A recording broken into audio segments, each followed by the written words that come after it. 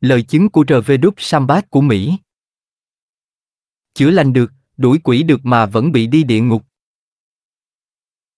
Đức Chúa Giêsu đáp rằng, 22 ngày đó sẽ có nhiều người nói với ta rằng, lạy Chúa, lạy Chúa, chúng tôi há chẳng từng nhân danh Chúa mà nói tiên tri, hoặc nhân danh Chúa mà đuổi quỷ, hoặc nhân danh Chúa mà làm nhiều phép lạ sao? 23 bấy giờ ta sẽ đáp với chúng, ta không hề biết các ngươi, hỡi bọn làm việc gian tà, hãy đi ngay cho khuất mắt ta, Matthew. 7, 22, 23 Bạn sẽ là một trong số những người nghe những lời khủng khiếp đó chứ? Hay bạn sẽ nghe Ngài phán, khá lắm, hỡi đầy tớ ngay lành và trung tín. Hãy vào hưởng niềm vui của Chúa ngươi. Đây là những từ trang trọng. Ngài đang nói về ai? Ai đang chữa lành người bệnh? Ai đang nói tiên tri? Ai đang đuổi quỷ? Ai đang làm những công việc tuyệt vời hôm nay? Tôi không ngại nói với bạn rằng Chúa đã giảng cho tôi một thông điệp từ chính những lời này. Bạn không nhất thiết phải đồng ý với tôi, nhưng tôi tin rằng Đức Chúa Trời đang nói về những nhà truyền giáo ngũ tuần sa ngã. Bạn nói, bây giờ, đợi một chút, mục sư. Chúa nói, ta chưa bao giờ biết ngươi, tôi sẽ nói về điều đó sau. Nhưng trước tiên tôi muốn nói rằng tôi tin rằng chúng ta trong thế hệ này đang có một chút ý thức quá mức về các món quà. Đừng hiểu lầm tôi, làm ơn. Tôi tin vào các ân tứ của Thánh Linh. Tôi có những ân tứ thuộc linh khi nhận được sự phục vụ trong các chiến dịch của mình, với sự đặt tay. Quá nhiều hội thánh ngày nay đã đánh mất các ân tứ. Tránh xa ta ra. Ta chưa bao giờ biết ngươi. Những người đã được Đức Chúa Trời sử dụng để chữa lành người bệnh và đuổi quỷ. Điều này làm tôi rung động. Đôi khi mọi người đến nơi mà họ nghĩ rằng họ đang làm điều đó. Đừng bao giờ quên rằng bạn không hơn gì một ống dẫn quyền năng của Chúa. Ai là người chữa bệnh? Chúa ơi! Ai làm phép lạ? Chúa ơi! Bạn lấy đâu ra sức mạnh cho mọi thứ mà loài người nhìn thấy xảy ra dưới tay bạn? Đừng bao giờ quên rằng sức mạnh đến từ Ngài. Tôi tin rằng mỗi nhà truyền đạo cần phải nhận ra điều này. Bạn không là gì ngoài một con tàu. Không phải là một tàu rất ưa thích ở đó. Chỉ là một con tàu làm bằng buồn Và tôi tin rằng có một điều gì đó quan trọng hơn nhiều đối với đứa con của Thượng Đế hơn là những món quà chứa đựng trong chiếc bình đó. Đó là những gì tôi muốn nói với bạn về. Trái cây tôi không thích thuyết giảng theo cách tiêu cực. Tôi thích trao giảng tích cực. Nhưng tôi muốn bạn nhìn lại xa hơn một chút trong chương thứ bảy này của Matthew. Tôi đã gạch dưới các câu 16 và 17. Tôi muốn bạn gạch dưới những lời này trong tâm trí mình. Các ngươi sẽ biết chúng khi xem trái của chúng. Nào ai hái trái nho nơi lùm gai, hay trái vả nơi bụi gai rừng chăng? 17 vậy, hễ cây lành thì sinh trái lành, còn cây độc thì sinh trái độc. Quá nhiều con cái của Đức Chúa Trời ngày nay đã phán xét các cá nhân qua những ân tứ mà họ có. Đã bao nhiêu lần bạn nói, ồ, bà ấy là một phụ nữ tuyệt vời. Bạn nên nghe bà ấy nói tiên tri. Bạn nên nghe cô ấy khi cô ấy không nói tiên tri. Đừng giận tôi nữa, bây giờ. Điều này có thể làm bạn rung động, nhưng tôi sẽ nói cho bạn sự thật và nói thẳng với bạn. Bạn có biết rằng bạn có thể tiên tri mỗi ngày và vẫn có thể mở toan địa ngục không? Bạn có thể nói tiếng lạ và đi thẳng vào địa ngục trong khi bạn đang nói một ngôn ngữ khác. Tại sao? Làm sao có thể? Bởi vì những ân tứ và sự kêu gọi của Đức Chúa Trời không có sự ăn năn. Điều đó có nghĩa là Đức Chúa Trời sẽ không ban cho bạn một món quà rồi lấy lại. Ngài không phải kiểu người cho đi như vậy. Một lần nọ, tôi có một nhà thuyết giáo đến gặp tôi, trong một buổi nhóm, kêu cầu Chúa. Niềm tin đã ở khắp mọi nơi. Các linh hồn đang chạy đến bàn thờ để được cứu. Anh ta đến với họ, nhưng anh ta kêu lên, tôi sẽ không làm điều đó. Anh ấy đã say. Điều đó, trong tiếng Anh hàng ngày, có nghĩa là anh ta say rượu. Kẻ sa ngã. Tôi nói với anh ta, Chúa gọi anh để rao giảng. Anh ấy nói, tôi biết điều đó. Nhưng tôi sẽ không giảng. Tôi nói, anh bạn, anh sẽ giảng. Anh ấy nhìn thẳng vào mắt tôi và nói, tôi sẽ không giảng đâu. Tôi nói, bạn sẽ giảng. Bạn có thể không giảng ở Pennsylvania, hay Tennessee, hay Texas. Nhưng bạn sẽ giảng trong địa ngục. Điều đó đã đánh thức anh. Tôi muốn bạn biết rằng những ân tứ của Đức Chúa Trời và sự kêu gọi của Đức Chúa Trời không có sự ăn năn. Đức Chúa Trời không thay đổi ý định của Ngài. Bạn không thể đùa giỡn với Chúa. Đức Chúa Trời nói với tôi. Tôi đã nói với bạn rằng Đức Chúa Trời đã giảng sứ điệp này cho tôi một lần. Ngài vào ngay phòng ngủ của tôi, và tôi không ngại nói với bạn, điều đó làm tôi chấn động. Tôi đang rao giảng ở Chicago, Illinois. Đức Chúa Trời đã ban cho chúng tôi một cuộc phục hưng vĩ đại. Hàng ngàn người đến mỗi đêm, và tôi đã rao giảng hết lòng mình. Tôi đã đặt tay trên mọi người mỗi đêm cho đến khi tôi sẵn sàng gục ngã. Tôi không bao giờ muốn quay lưng lại với bất cứ ai. Tôi thích cầu nguyện với mọi người. Tôi thích làm mục sư. Nó là cuộc sống của tôi. Tôi dành nhiều thời gian với mọi người. Khi trở về phòng vào ban đêm, tôi mệt mỏi đến mức nhiều lần thậm chí không tắm. Tôi đã quá mệt mỏi thậm chí để thay bộ quần áo ướt của mình. Tôi sẽ ngã xuống giường, người ướt đẫm mồ hôi, vẫy tay với Chúa Giêsu và nói: "Lạy Chúa, con sẽ gặp lại Chúa vào ngày mai." Con không có thời gian để cầu nguyện bây giờ. Ngủ đi, gần như trước khi đầu tôi đập vào gối. Bạn đã bao giờ làm điều đó? Đừng nói với tôi. Bạn không khác gì tôi. Ngày hôm sau, tôi sẽ thức dậy, tắm rửa sạch sẽ và mặc quần áo rồi quay lại ngay với buổi thờ phượng và tham gia lại từ đầu. Không phải là một cơ hội để thoát ra khỏi nó. Phỏng vấn, rao giảng, phục vụ qua phép đặt tay. Rồi lại về nhà, trong đêm khuya, kiệt sức. Tôi sẽ nói, Chúa ơi, con thực sự có ý đó. Con định nói chuyện với Ngài tối nay, nhưng con biết Ngài hiểu. Chỉ là tối nay con quá mệt mỏi. Hẹn gặp lại Ngài vào ngày mai. Tôi biết tôi đang nói chuyện với bạn. Đôi khi chúng ta quá bận rộn, phải không? Chúa đã cho chúng ta một món quà. Nó đang hoạt động. Chúng ta đang thấy những linh hồn được cứu, những thân thể đau yếu được chữa lành, ma quỷ bị trục xuất. Một số người không biết cầu nguyện là gì cho đến khi họ vào nhà thờ. Điều đó thật nguy hiểm.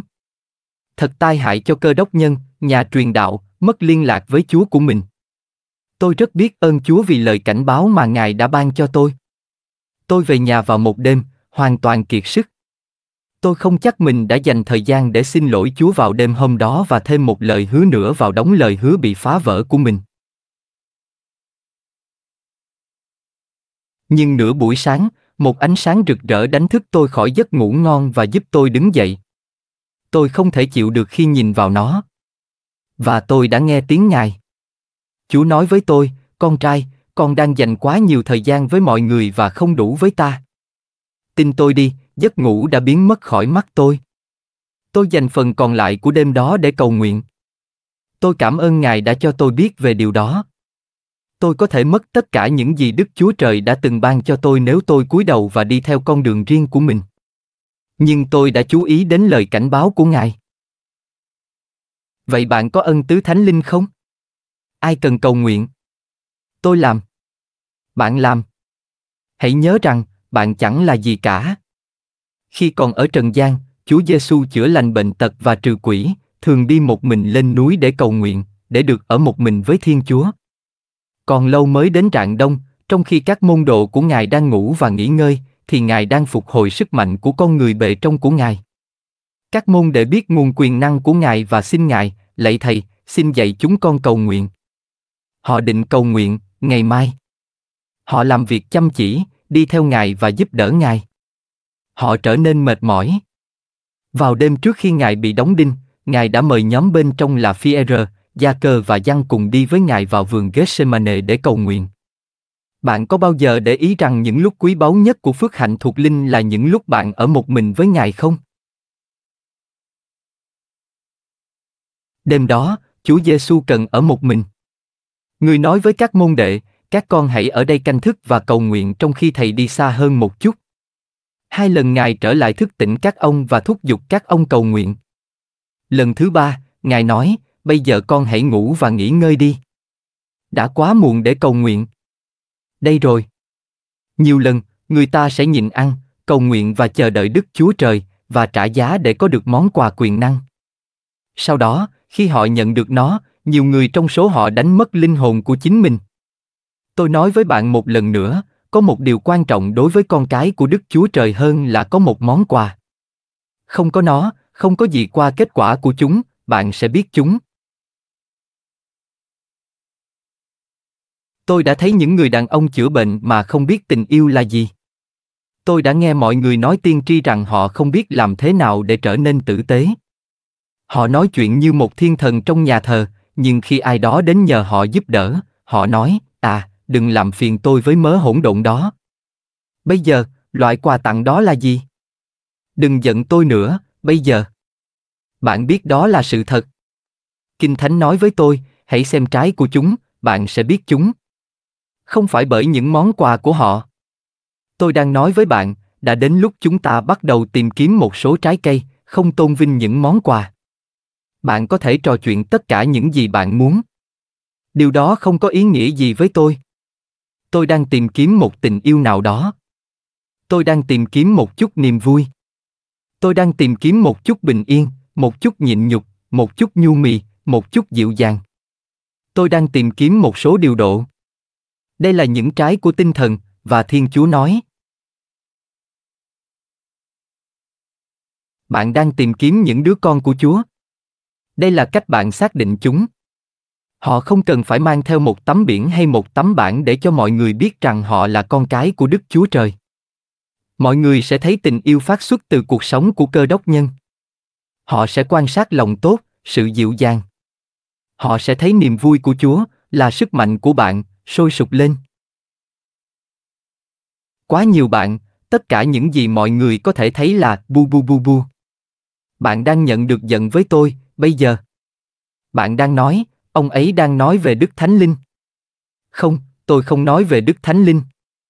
Tôi đang nói về cách một số người sử dụng những món quà mà Chúa đã ban cho họ và không lấy đi.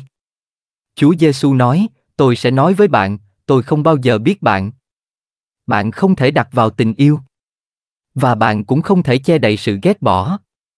Hoặc nó ở đó hoặc nó không. Cây tốt thì sinh trái tốt.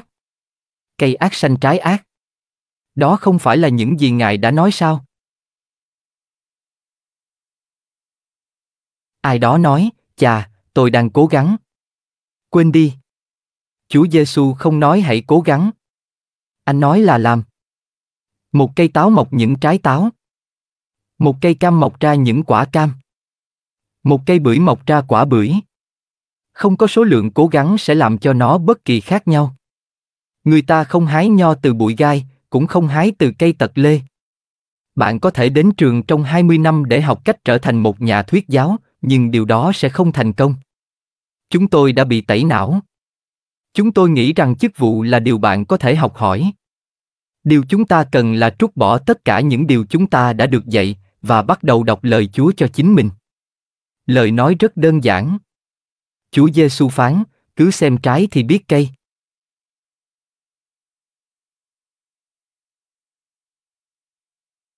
Tình yêu. Nghe tôi. Bạn không cần phải ra ngoài đường để tìm thù hận. Bạn có thể tìm thấy nó trong nhà thờ. Tôi đã đọc trên báo về một nhóm nhà thờ đang tranh giành tài sản của nhà thờ. Một số người trong số họ đã tổ chức một cuộc họp và lật đổ nhà thuyết giáo. Họ đòi tài sản. Một nhóm khác ủng hộ nhà thuyết giáo và tuyên bố tài sản là của họ. Họ đang đấu tranh với nhau, gọi tên nhau, đưa nó ra tòa. Thật đáng xấu hổ cho những người trong nhà thờ hành động như thế này. Họ không biết tình yêu là gì. Tình yêu. Khi nói đến tình yêu, điều đầu tiên người ta nghĩ đến là tình yêu nhục dục, tình yêu giữa những người khác giới. Họ thậm chí không còn nhiều điều để nói về tình yêu nữa, tất cả những gì họ có thể nói là làm tình. Tình yêu không phải là thứ bạn tạo ra. Tôi đang nói về một tình yêu đến từ Thiên Chúa. Khi đấng Christ bước vào cuộc đời bạn, sự thù hận sẽ biến mất. Những điều cũ đã qua đi và mọi thứ đã trở nên mới. Những người bạn đã từng ghét, bây giờ bạn yêu. Khi bạn có Chúa Giêsu, bạn có tình yêu. Tôi đang nói về loại tình yêu khiến bạn yêu tất cả mọi người. Nó làm cho bạn yêu kẻ thù của bạn. Nó làm cho bạn yêu những người đã sai lầm với bạn. Bạn nói, nhưng bạn không biết những gì Ngài đã làm với tôi. Tôi nói nó làm cho bạn yêu tất cả mọi người. Ngươi không biết hắn gọi ta là cái gì. Nó làm cho bạn yêu tất cả mọi người. Hallelujah. Bởi trái của họ, bạn sẽ biết họ. Trái của tinh thần là tình yêu. Có người nói, ồ, nhưng ông ấy có tài tiên tri tuyệt vời. Phải, tôi nói với bạn. Anh ấy có tình yêu không? Không có tình yêu, nó không có nghĩa là một điều. Nếu bạn không tin tôi, hãy đọc chương thứ 13 của Y Corinto. Phaolô viết, được Đức Thánh Linh soi dẫn, mặc dù tôi nói được các thứ tiếng của loài người và của các thiên sứ, mà không có tình yêu thương. Nếu tôi không có tình yêu thương, thì tôi là gì? Và không có tình yêu, tôi chẳng là gì cả. Đây là những gì bạn đang có. Nếu bạn nói tiếng lạ, nói tiên tri và không có tình yêu thương, bạn chẳng là gì ngoài cái chủng chọe len ken. Bạn nói, tôi có đức tin. Nếu bạn có tất cả niềm tin vào thế giới, niềm tin có thể chuyển núi, và không có tình yêu, thì bạn chẳng được lợi lộc gì. Bạn không thích điều đó. Đọc nó dù sao đi nữa. Đó là lời Đức Chúa Trời, và lời Đức Chúa Trời là chân thật. Bây giờ hãy lắng nghe điều này. Đây không phải là cách phổ biến để rao giảng, nhưng đã đến lúc chúng ta nghe một số lời rao giảng như thế này. Chúng tôi nghe rất nhiều về những món quà. Ân tứ chữa lành. Món quà của phép màu. Món quà của lời tiên tri. Exorcism, món quà đuổi quỷ. Làm thế nào về một số tình yêu? Hallelujah. Tình yêu sẽ khiến bạn đi ra ngoài thế giới và tìm thấy điều đã mất. Bạn có thể tiêu tiền của mình để sửa sang nhà thờ, lót đệm cho những chiếc ghế dài, trải thảm trên sàn nhà, lắp những cửa sổ kính màu và một chiếc đàn phong cầm đẹp đẽ, rồi nói rằng bây giờ họ sẽ vào. Chúng và mang chúng vào. Tình yêu gửi bạn đi tìm chúng. Tình yêu sẽ khiến bạn vòng tay ông lấy kẻ say. Tôi thách một người say rượu vào nhà thờ bình thường của bạn. Anh ấy sẽ không đi xa đến băng ghế sau. Nửa tá chấp sự sẽ gặp anh ta. Anh đang làm gì ở đây, anh bạn? Anh không biết sao, đây là một nhà thờ. Ý anh là sao, đến đây khi say xỉn. Tôi cần giúp đỡ. Thế thôi. Chà, hãy ra khỏi đây cho đến khi bạn tỉnh táo. Tắm rửa sạch sẽ rồi trở về. Tôi ra lệnh cho những người giữ chỗ trong nhà thờ và dưới lều của tôi, nếu có ai vào đây, họ thuộc về tôi. Đừng đuổi bất kỳ ai trong số họ ra ngoài. Họ là của tôi. Họ có thể say rượu vào, nhưng họ sẽ đi tỉnh táo đi. Tôi sẽ nhúng tay vào chúng. Tình yêu sẽ vươn xuống đất sét buồn và tìm thấy tội nhân ở đâu. Quá nhiều người trong hội thánh ngày này không biết cách làm điều đó. Ngay khi họ nhìn thấy ai đó ngã xuống, họ đá anh ta, đặt chân lên anh ta và nói, ở yên dưới đó. Và sau đó họ đứng dậy trong nhà thờ và hát, ôi, huyết của Chúa Giêsu trắng sạch như tuyết. Công trình tuyệt vời. Chúa Giêsu phán, trong ngày đó, nhiều người sẽ đến với ta và nói nhân danh ngươi rằng chúng ta đã làm nhiều việc lạ lùng. Công việc là quan trọng. Chúa Giêsu phán, ta phải làm công việc của đấng đã sai ta khi còn ban ngày, vì đêm đến không ai có thể làm việc được. Quà tặng rất quan trọng. Cảm ơn Chúa vì những món quà. Tôi tin vào các ân tứ của Thánh Linh. Tôi có những buổi nhóm nhận ân tứ thuộc linh, nơi tôi đặt tay trên người khác. Timothy nhận được một món quà khi Phaolô đặt tay trên ông. Phaolô nói với ông, hãy khơi dậy ân tứ đặt tay trong anh em. Tôi khuyến khích hoạt động của các ân tứ và làm mọi điều có thể để khơi dậy các ân tứ trong các bạn. Nhưng đừng quá gói gọn trong món quà. Nếu Chúa đã ban cho bạn món quà tiên tri, thì hãy sử dụng nó với tình yêu. Nếu Ngài đã ban cho bạn món quà nói tiếng lạ, hãy sử dụng nó với tình yêu thương. Bạn đã bao giờ thấy những người trong nhà thờ đánh nhau bằng tiếng lạ chưa? Bạn đã bao giờ thấy hai thánh già giận nhau và bắt đầu nói tiếng lạ với nhau, chỉ tay vào mặt nhau và hất tay vào mặt nhau chưa? Đó không phải là yêu. Đã đến lúc chúng ta bắt đầu tìm kiếm tình yêu một cách nghiêm túc hơn. Vui sướng. Bởi trái của họ, bạn sẽ biết họ. Tình yêu là hoa trái của tinh thần. Niềm vui là hoa trái của tinh thần. Bạn không thể làm việc để đạt được niềm vui đó. Bạn không thể bơm nó lên. Tuy nhiên, chúng tôi xem các nhà lãnh đạo bài hát của chúng tôi ở đó trong mọi nhà thờ. Những kẻ chết chóc đến và ngồi đó thành hàng, giống như một đống xác chết. Người hướng dẫn bài hát nói, bây giờ, mọi người đứng dậy. Chúng ta sẽ cầu xin Chúa ban phước cho buổi lễ. Mọi người hãy nói Amen. Họ lẩm bẩm, Amen. Không có niềm vui trong đó cả. Khi tôi còn ở trong hải quân, tôi có một người bạn cùng đi trên tàu với tôi, anh ấy tự xưng là một cơ đốc nhân, nhưng anh ấy không biết niềm vui là gì. Anh ấy nói chuyện với một số người trên tàu và nói, các bạn cần được cứu. Họ nói, nếu nó khiến chúng tôi trông giống bạn, thì chúng tôi không muốn. Đó là loại quảng cáo gì? Tôi tin rằng ngày nay sẽ có nhiều người được cứu hơn nếu các cơ đốc nhân chỉ thể hiện một chút niềm vui. Em đó, trông ủ rũ quá, còn em thì sao? Còn tôi, tôi mừng vì mình đã được cứu. Tôi có một cái gì đó để vui mừng hơn. Tôi có một cái gì đó để hét về. Tôi đã có niềm vui xuống trong trái tim của tôi. Đây là một thành quả của tinh thần. Vui sướng. Nó ở dưới đó, sâu thẳm trong trái tim. Tôi không nói về loại niềm vui mà bạn có được trong nhà thờ. Bất cứ ai cũng có thể được ban phước khi mọi người đang hát, đàn ốc găng đang chơi. Trong nhà thờ của chúng tôi ở Philadelphia, một ngày nọ, cửa sau bật mở và một người phụ nữ bước vào, mang theo một nửa. Cô nghe thấy âm nhạc. Cô ấy nhìn thấy những đứa con của Chúa la hét và nhảy múa, và cô ấy bắt đầu trải qua điều đó. Cô ấy bắt đầu đi thẳng xuống lối đi giữa. Tôi nói với một nhà thuyết giáo khác trên bục giảng, tôi ước gì anh nhìn vào đó.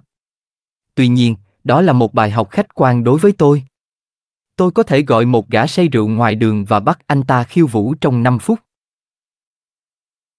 Nhưng loại niềm vui mà tôi đang nói đến không phải là niềm vui tuôn ra từ đàn ốc găng. Đó không phải là niềm vui đến như một thành quả của tinh thần. Tôi đang nói về niềm vui có được khi bạn không nghe thấy tiếng đàn ốc găng nào, niềm vui ở lại với bạn khi bạn không nghe thấy lời rao giảng nào, niềm vui đến với bạn bên ngoài nhà thờ, khi bạn đang làm việc xoa bóp khuỷu tay với những người bị quỷ ám đang kể những câu chuyện tục tiểu và chọc ghẹo bạn. Bạn đang ở đó, trong bóng tối của thế giới tội lỗi, nhưng bạn đang sống trong thế giới nhỏ bé của niềm vui và ánh sáng. Bạn cảm thấy một bánh xe niềm vui nho nhỏ đang quay bên trong. Đó là niềm vui của Chúa là sức mạnh của bạn. Đó là trái cây.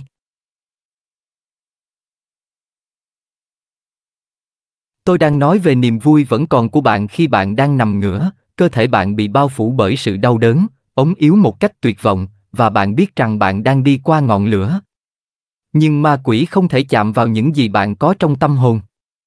Trong khi bạn đang nằm đó, bạn đang hát những bài ca của Sion, rằng, tôi biết rằng đấng cứu chuộc tôi vẫn sống, và mặc dù Ngài giết tôi, nhưng tôi sẽ tin cậy Ngài. Nhiều hơn nữa. Có nhiều hơn nữa. Đọc Galati 5, 22 và 23, nhưng trái của Thánh Linh, ấy là lòng yêu thương, sự vui mừng, bình an, 16 nhịn nhục, mềm mại, hiền lành, trung tín, mềm mại, tiết độ, không có luật nào cấm những điều đó. Bây giờ tôi đang nói chuyện với những người trong nhà thờ. Bạn không phải lo lắng về việc có quá nhiều thứ đó. Chống lại như vậy, không có pháp luật. Và tôi tin rằng đã đến lúc chúng ta bắt đầu trồng một số trái cây. Hãy nghe tôi, người yêu dấu. Bạn có thể nhận được một món quà trong hàng người cầu nguyện, thông qua việc đặt tay. Nhưng tôi không quan tâm bạn đi qua bao nhiêu hàng cầu nguyện, bạn không thể có kết quả theo cách đó. Trái cây phải lớn lên. Để phát triển, nó phải được chăm sóc và nuôi dưỡng. Nó phát triển khi bạn dành thời gian với Ngài. Một số phước lành lớn nhất mà bạn từng kinh nghiệm sẽ đến khi bạn ở một mình với Đức Chúa Trời. Một số người la hét và gây ồn ào trong một buổi nhóm ngủ tuần sôi sục, nhưng họ không có đời sống cầu nguyện. Đối với một số người thực hiện các ân tứ, những người đuổi quỷ và làm những việc kỳ diệu, Chúa Giêsu nói, hãy lui ra khỏi ta. Ta không hề biết các ngươi. Ngài không nói điều đó với những người đang bước đi trong thánh linh, nói trong thánh linh, kết quả trong thánh linh. Hãy rời xa ta, hỡi những kẻ làm việc gian ác. Sa ngã. Tôi đã từng có những nhà thuyết giáo đến gặp tôi và nói, nào, Sambat. Anh có thể uống một ly. Tất cả chúng ta đều đang làm điều đó.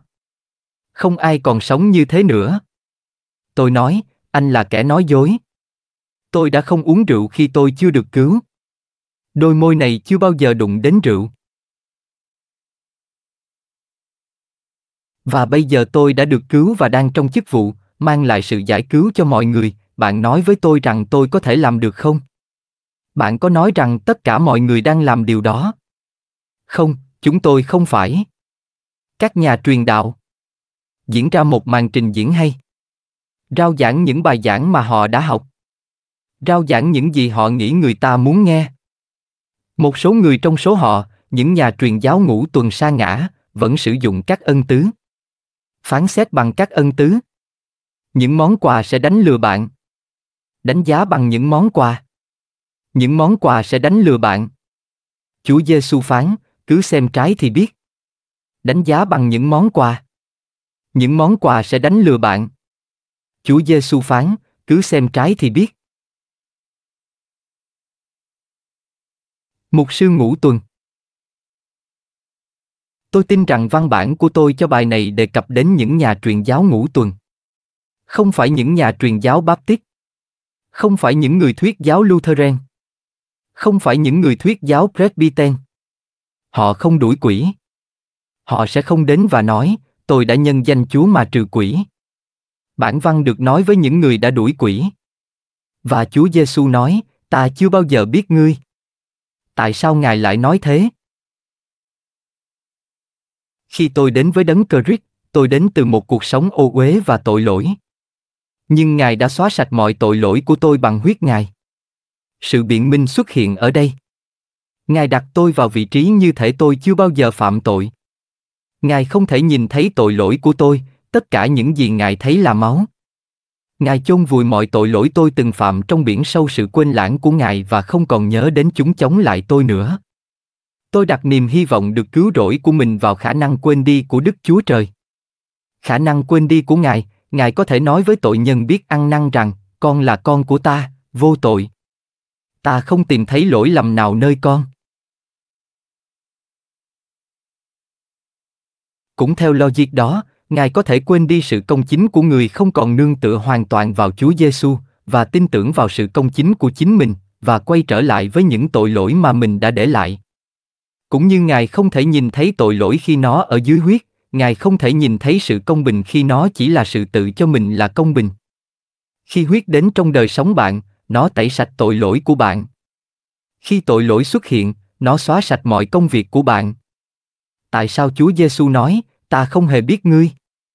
Ngài chỉ biết những ai được bao phủ bởi huyết, được nên thánh, sống thánh khiết, bước đi trong thánh linh, bày tỏ trái của thánh linh và cẩn thận làm công việc của đấng đã sai họ đến.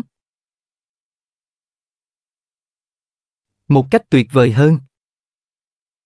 Đừng hiểu lầm tôi. Tôi tin vào việc chữa lành bệnh tật và xua đuổi ma quỷ. Nhưng Paul nói, tôi chỉ cho bạn một cách tuyệt vời hơn. Khi bạn chữa lành người bệnh và đuổi quỷ, hãy chắc chắn rằng bạn có tình yêu. Bạn có biết rằng bạn có thể có niềm tin, nhưng không có tình yêu? Ngài phán, đức tin, hy vọng và tình yêu thương vẫn còn đó. Nhưng lớn nhất trong số này không phải là niềm tin. Đó là tình yêu. Bạn có thể có niềm tin và không có tình yêu. Nhưng không thể có tình yêu mà không có niềm tin. Niềm tin được bao hàm trong tình yêu. Tình yêu tin tưởng tất cả, chịu đựng tất cả, chịu đựng lâu dài và tử tế. Tình yêu không tự hành xử một cách khiếm nhã. Hãy làm nảy nở trong cuộc sống của bạn hoa trái quan trọng nhất của tình yêu. Điều răng đầu tiên và lớn nhất. Và một trong những người ghi chép đến, và hỏi Chúa Giêsu, điều răng đầu tiên nào lớn hết trong tất cả? Đức Chúa Giêsu đáp rằng, điều răng đứng đầu là, hỡi Israel, hãy nghe đây, Chúa, Đức Chúa Trời của chúng ta, là Chúa duy nhất, và ngươi phải hết lòng, hết linh hồn, hết trí khôn và hết sức yêu mến Chúa, Đức Chúa Trời của ngươi, đây là điều răng thứ nhất. Và điều thứ hai là như thế, cụ thể là điều này, ngươi phải yêu người lân cận như chính mình. Không có điều răng nào khác lớn hơn những điều này. Mát 12, 29, 31 Vì ai tuân giữ toàn bộ luật pháp mà vi phạm một tội, thì người ấy kể như phạm tội tớ cả. Sự đoán xét không thương xót kẻ chẳng làm sự thương xót, nhưng sự thương xót thắng sự đoán xét. Gia cơ 2, 10, 13 20 Điều răng mới Ta ban cho các ngươi một điều răng mới, nghĩa là các ngươi phải yêu nhau, như ta đã yêu các ngươi thể nào, thì các ngươi cũng hãy yêu nhau thể ấy. Bởi điều này mà mọi người sẽ biết rằng các ngươi là môn đệ của ta nếu các ngươi có lòng yêu thương nhau. Giăng 13, 34, 35 Như cha đã yêu mến ta thế nào, thì ta cũng yêu thương các ngươi thể ấy, hãy tiếp tục ở trong tình yêu của ta. Nếu các ngươi tuân giữ các điều răn của ta, các ngươi sẽ ở trong tình yêu của ta, cũng như ta đã tuân giữ các điều răn của cha ta, và ở trong tình yêu của Ngài. Ta đã nói với các ngươi những điều này để niềm vui của ta ở lại trong các ngươi và niềm vui của các ngươi được trọn vẹn. Đây là điều răn của ta, rằng các con hãy yêu thương nhau, như ta đã yêu thương các con. Không có tình yêu nào cao cả hơn tình yêu này, tình yêu mà một người hy sinh tính mạng vì bạn hữu của mình. Các ngươi là bạn của ta nếu các ngươi làm theo bất cứ điều gì ta truyền cho các ngươi. Những điều này ta truyền cho các ngươi, đó là các ngươi phải yêu thương nhau. Giăng 15, 9, 14, 17 Nhờ đó biết rằng chúng ta ở trong Ngài. Ai nói mình ở trong Ngài thì cũng phải bước đi như Ngài đã bước đi. Thưa anh em, tôi không viết cho anh em một điều răng mới, nhưng là một điều răng cũ mà anh em đã có từ thuở ban đầu. Một lần nữa, tôi viết cho bạn một điều răng mới, điều gì là đúng trong ngài và trong bạn vì bóng tối đã qua rồi, và ánh sáng thật hiện đang chiếu rọi. Ai nói mình ở trong ánh sáng mà ghét anh em mình, thì ở trong bóng tối cho đến tận bây giờ. Ai yêu anh em mình thì ở trong ánh sáng, và không có cơ hội vấp ngã trong người ấy. Còn ai ghét anh em mình thì ở trong bóng tối, bước đi trong bóng tối, không biết mình đi đâu, vì bóng tối đã làm mù mắt người. Một văn 2, 5b, 11 Nếu một người nói, tôi yêu Đức Chúa Trời và ghét anh em mình, thì người ấy nói dối, vì kẻ nào chẳng yêu anh em mình thấy được, thì làm sao yêu Đức Chúa Trời mình không thấy được. Và chúng ta có điều răng từ nơi người, rằng ai yêu mến Thiên Chúa, thì cũng yêu mến anh em mình. Một văn 4, 20, 21, 22 Thước đo tình yêu Hãy để tình yêu không bị phân tán. Ghê tởm những gì là xấu xa, bám chặt vào những gì là tốt. Hãy đối xử tử tế với nhau bằng tình yêu thương anh em, trong danh dự thích nhau. Roma 12, 9, 10 vì, hỡi anh em, anh em đã được gọi để hưởng sự tự do, chỉ không được lợi dụng sự tự do cho xác thịt, nhưng hãy lấy tình yêu thương mà phục vụ lẫn nhau. Đối với tất cả các luật được thực hiện trong một từ, ngay cả trong điều này, ngươi phải yêu người lân cận như chính mình. Song nếu các ngươi cắn nuốt nhau, hãy coi chừng, kẻo bị ăn thịt lẫn nhau. Tôi nói điều này, sau đó hãy bước đi trong thánh linh, và các ngươi sẽ không thỏa mãn dục vọng của xác thịt. Galati 5, 13, 16 Vì vậy, hãy là những người theo Chúa, như những đứa trẻ thân yêu, và hãy bước đi trong tình yêu thương, như đấng Christ cũng đã yêu thương chúng ta, và đã phó chính Ngài làm của lễ và của lễ dân lên Đức Chúa Trời để có hương thơm ngào ngạt. Epheso 5, một hai tình yêu thương không gây hại cho người lân cận, do đó, tình yêu là sự hoàn thành của pháp luật. Roma 13, 10-23 Reverend Sambat mục sư của bốn nhà thờ Miracel Temple ở Brooklyn, Newark, Philadelphia và Chicago. Nhà truyền giáo, mang thông điệp về quyền lực đến nước Mỹ và thế giới trong thời đại chúng ta, với những dấu hiệu sau đây. Nhà truyền giáo, rao giảng phúc âm với sự thể hiện quyền năng của Đức Chúa Trời ở nhiều nơi trên thế giới và cung cấp sự hỗ trợ cho những người truyền giáo toàn thời gian ở châu Phi, Indonesia, New Guinea. Tác giả của một số cuốn sách và bài báo truyền cảm hứng về đức tin. Bộ trưởng Phát thanh và Truyền hình. Sứ điệp của cuốn sách này được lấy từ các bản thu băng của một loạt các bài giảng phục hưng và đài phát thanh. Reveduk Sambat làm thế nào để chữa lành bệnh trừ quỷ và vẫn xuống địa ngục 1976 bởi Pobok 1 Elau City, Pa. 16.117 ông mất ngày 17 tháng 1 năm 2012, Tyler, Texas, Hoa Kỳ. https manadivin com 2023 01 10